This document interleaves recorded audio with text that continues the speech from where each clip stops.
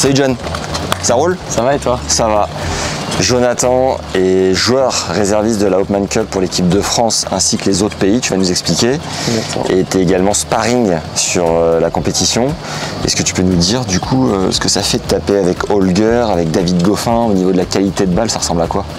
Bah, C'est toujours sympa de, de taper avec, euh, avec des joueurs comme ça. Euh, Holger il est sixième mondial aujourd'hui. Euh, David était- a été top 10 pendant un bon nombre d'années. Donc euh, voilà, c'est toujours un régal de, de pouvoir s'entraîner avec ces joueurs et de profiter du beau temps et de la Hopman Cup. Est-ce que ça gicle particulièrement ou tu sens qu'il n'y a pas tant de différence qu'avec ton niveau finalement? Ah non, il n'y a, pas- y a pas une différence énorme. Ce qui fait euh, la, grosse différence, c'est que sur une année, ils vont être beaucoup plus euh, constants dans, dans leur jeu, dans, dans tout. Mais voilà, après, Holger a vraiment une frappe très très lourde et, et ça part très fort. Mais euh, voilà, après, euh, David, on se connaît depuis longtemps et c'est euh, et c'est euh, plus une petite mobilette euh, qui ramène tout. Ah ouais et, voilà, et Zéro qui- faute. et qui sait- il en fait pas beaucoup. Ok, top. Donc cette semaine, tu es joueur de réserve pour l'équipe de France sur la Hopman Cup.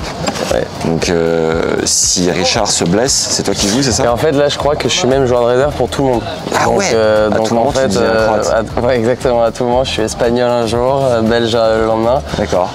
Mais, euh, mais voilà, et puis moi, ça me permet aussi de, de prendre une semaine euh, off de mon côté et de pouvoir m'entraîner avec les gars. Donc, je, je garde un pied dans, dans, le, dans, la compète. Et, euh, et voilà, c'est très sympa. Et puis, je profite de ma région, donc c'est cool. Est-ce que tes parents sont à Grasse, pas loin? Mes parents sont à côté, voilà, ça c'est un club où je suis venu euh, tout petit jouer plein de fois le tournoi dans toutes les catégories. Donc là de revenir ici c'est cool, je connais beaucoup de monde ici donc c'est sympa.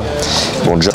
Et euh, pour les jeunes du coup qui suivent Tennis Légende, qu'est-ce que tu leur conseillerais du coup euh, de faire là où toi euh, Là, de faire, je dirais surtout Parce que t'as de, pas assez fait, je dirais surtout de, de se focaliser sur soi en fait, de pas forcément de pas forcément regarder ce que font ce que font les autres, de, de prendre de prendre son temps. Peu importe ce qui peut se passer, même s'il y a des petites blessures ou quoi, c'est pas grave. Moi, c'est quelque chose qui m'a fait euh, flipper sur le moment. Je me suis fait un- une toute petite euh, tendinite et en fait, euh, voilà, de, se dire que, que merde, je vais perdre du temps, bah, ça m'a ça m'a mis, euh, ça m'a fait perdre confiance dans plein de choses et, euh, voilà. Et après, c'est très dur de retrouver de trou- retrouver le rythme alors qu'en fait, j'avais euh, 19 ans, quoi, donc euh, j'avais tout le temps devant moi. Et voilà, donc surtout d'aller à son rythme, que si euh, à 19-20 ans on n'est pas dans les meilleurs, c'est pas grave. Euh, que du moment qu'on bosse et qu'on a une bonne ligne de conduite, euh, tout, peut, tout peut se passer à n'importe quand. Chaque joueur va à son rythme. Il y en a qui rentrent dans les 100 à 30 ans, il y en a qui, qui arrivent à 18. euh, voilà, chacun son rythme. Et, donc tu aurais dû quoi prendre plus le temps de soigner tes blessures et moins de précipiter à revenir Ouais, pas- le- mes blessures, je les ai soignées, mais en fait, plus de, voilà, de juste de suivre, de suivre son chemin, de pas euh, se focaliser, de pas euh, se baser sur le résultat immédiat aussi, parce que parce qu'on veut toujours euh, arriver le plus vite possible. Donc euh, forcément, bah, il y a des moments où ça se passe pas comme prévu, et c'est là où il faut arriver à se dire bon bah c'est pas grave, euh, je joue pas forcément, euh, enfin je gagne pas forcément, mais en tout cas euh, c'est la façon dont j'ai envie de jouer plus tard, quand on prend des risques, etc. Et, euh, et parce que gagner des matchs euh, à 18 ans en limant, euh, c'est pas forcément ce qui va faire de toi un, super joueur derrière. Donc, euh, donc si on sait que en frappant comme ça, à un moment donné, ça va passer, bah, c'est sûrement ce qu'il faut faire. Et il faut continuer, il faut persévérer. Et à un moment donné, de toute façon, le, le travail paye. et- T'étais un rat toi à l'époque? Non, j'étais pas un rat du tout. Je, je, je frappais, un exemple, je frappais- guillemets. je frappais Ouais. très bien, mais c'est vrai qu'il y a des joueurs, et surtout dans les catégories plus jeunes, où, qui gagnent énormément en limant. En junior, parce que bah, quand on est plus jeune, on n'a pas forcément la puissance pour pouvoir euh, frapper une balle qui arrive très haute et, et la prendre tôt, etc. Et en fait, on se rend compte que quand euh, les gars grandissent et, voilà, et deviennent beaucoup plus costauds, bah, les mecs qui limaient, ils, ils, se font, ils se font démonter. Quoi. Donc, euh, donc voilà, c'est juste un exemple parmi tant d'autres. T'es de 90 toi? Ouais. T'es de la génération, on a le même âge, et t'es de la génération de Jérôme Indirio aussi. Exactement. Avec qui vous tiriez la bourre à l'époque. Vous êtes encore Ouais. potes ou vous êtes Ouais, on est encore super potes. Il joue, lui, il joue au paddle très bien. Ouais. Euh, voilà, il a, il a- il- pareil, il a, il a fait son chemin. Il a eu quelques blessures. euh, voilà, il, il a, il a choisi de faire autre chose. C'est un sport très dur le tennis, donc euh, voilà, tout le monde, tout le monde a des chemins différents et. Et voilà, chacun, chacun suit, suit son cours. quoi. Question euh, un peu plus touchy, on, on y va crescendo. si on tombe amoureux Ouais. et qu'on a une peine de cœur, Ouais. je crois que c'est ce que tu as vécu peut-être une fois ou deux, comment on gère euh, dans cette vie un peu folle de voyage et, et pour gérer ses émotions, parce que chaque semaine on est en tournoi. C'est dur. Pareil, ouais, si tu devais vrai conseiller que- le jeune Jonathan, tu lui dirais quoi? Bah, c'est vrai qu'il y, a des- il y a des moments où, quand tu es amoureux, bah, il y a des tournois où tu te dis, bon, allez, si, si je perds, euh, j'ai peut-être la récompense d'a- d'aller d'aller revoir ma nana, ou, euh, ou voilà, on a envie parfois de faire passer euh, bah, son amour euh, devant le tennis. Et voilà, c'est- aussi une erreur. Ouais. C'est aussi une erreur. euh, Il faut, euh, il faut, faut toujours regarder. Faire venir voilà. sa nana. Ouais, bon, ça, c'est, ça, c'est sûr que dans, dans, Dans un monde idéal. Voilà, ça c'est le rêve, mais euh, non, non, faut, faut toujours essayer de, de- de mettre en priorité son boulot et, et le tennis parce que parce que parce qu'un amour, euh, ça peut surtout des, des amours de jeunesse, ça peut ça, peut- ça peut tenir 2-3 mois et c'est vrai que ces 2-3 mois-là, si tu as si t'as mis euh, ça avant ton tennis, bah, derrière pour, pour récupérer c'est plus dur. Et, euh, et au final, c'est ton job et voilà, la priorité, il faut que ce soit le job et, et après, bah, si, tu arrives à concilier les deux, c'est super. Mais euh, voilà, faut pas, euh, surtout pas balancer un tournoi euh, pour pouvoir euh, aller voir sa nana. Compris dernier truc du coup sur le projet de double, je crois que c'était un peu compliqué dernièrement, t'étais pas loin même d'arrêter le tennis. Du Ouais. coup, du coup, qu'est-ce qui t'a fait tenir et c'est quoi ton plan, ta vision? Bah, le double, c'est, enfin, comme le simple, c'est, hyper compliqué, sauf qu'en plus, tu dois euh, voilà, t'associer avec quelqu'un et, euh, et c'est pas toujours euh, très simple de trouver des partenaires. Parce que en plus, un partenaire, bah, au final, ça devient un peu ta nana quand, Ouais. tu, quand tu joues en double régulièrement avec cette personne. Donc, faut arriver à s'entendre avec en dehors, enfin, sur le terrain évidemment, mais en dehors aussi. C'est pas toujours facile de, de supporter des, gens comme ça au quotidien, surtout que c'est un sport individuel où on a l'habitude depuis tout petit de faire notre truc de notre côté. Et là finalement on s'allie avec quelqu'un, donc il faut qu'on arrive à tous les deux tirer dans le même sens et qu'on ait le même objectif. Pas toujours évident d'avoir le même objectif, euh, la même façon de travailler.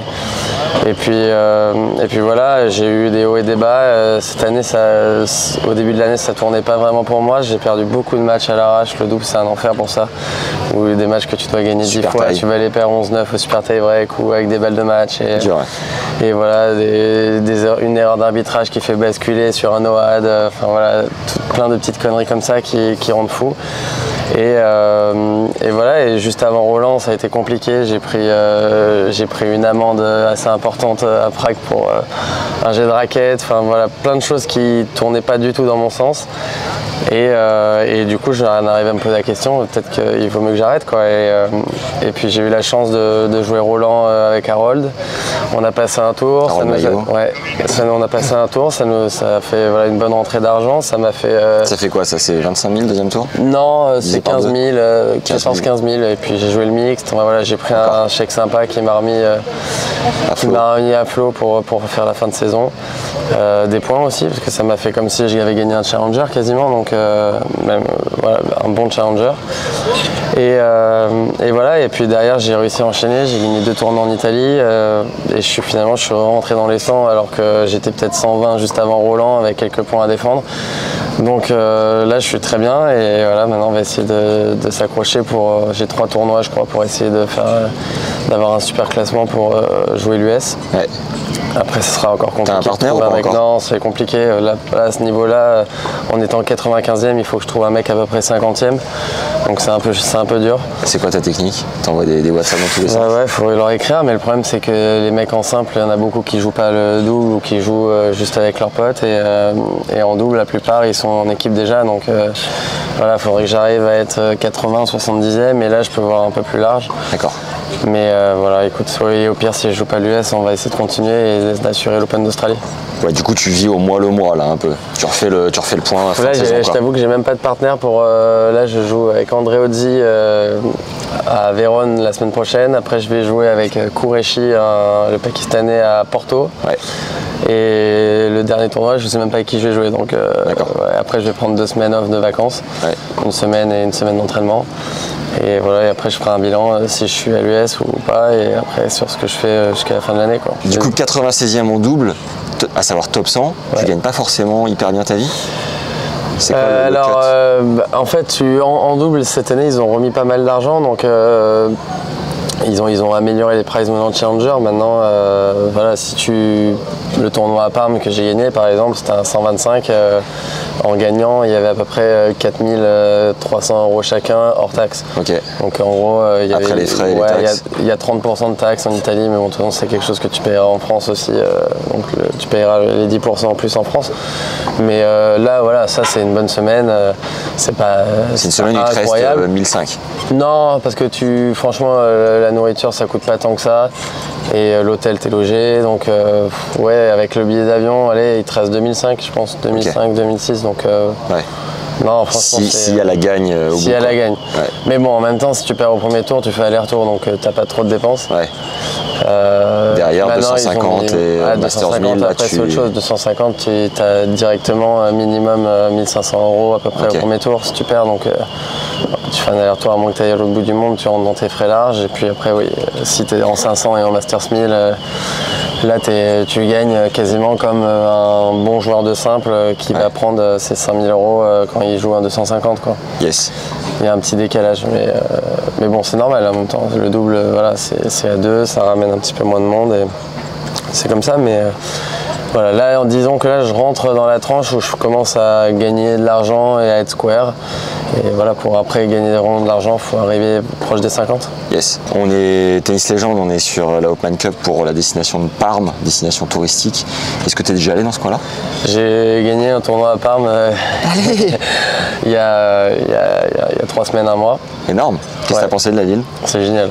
C'est, bah, en tout cas, c'est un des meilleurs endroits pour manger italien. Ok. Ça c'est sûr. Puis la ville, la ville est mignonne. Euh, je t'avoue que j'ai, comme je joue toutes les semaines, toute la semaine, j'ai pas trop trop visité, mais euh, voilà, le- la nourriture est incroyable.